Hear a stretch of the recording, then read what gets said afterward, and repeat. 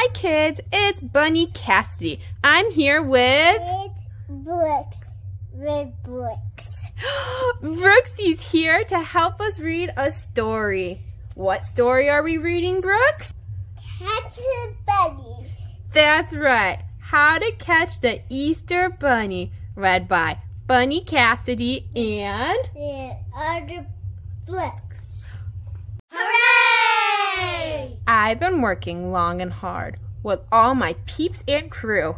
We made the eggs and now I'm here to bring them all to you. Whoa, look at all those little chicks working hard. My real name's a secret. My friends call me EB. My special job means I must hide my true identity. Hey, Brooks, I see a carrot. And this cup says world's best hopper. Who do you think it is sitting behind that chair? Turn the page. Turn the page and we'll find out. Okay. Wow, you were right, Brooks. It's the Easter Bunny. And I'm coming to your home. If you have Easter spirit, then you might see me roam. This first trap is quite simple. Just carrots on a plate. I'm lightning fast. To catch me, you'll need some better bait. Whoa, look at this crazy picture. There's a hole that's covered by a rug. It will never cause me strife. Have you forgotten what I am? Burrowing's my life.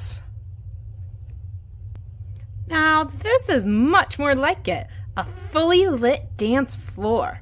I'll do a little hip hop, then dash behind the door. This next trap is quite clever, made by brilliant engineers, but it's hard to catch a bunny who has supersonic ears. You want to catch me for my eggs and magic basket too, but I've been hiding Easter treats since 1682.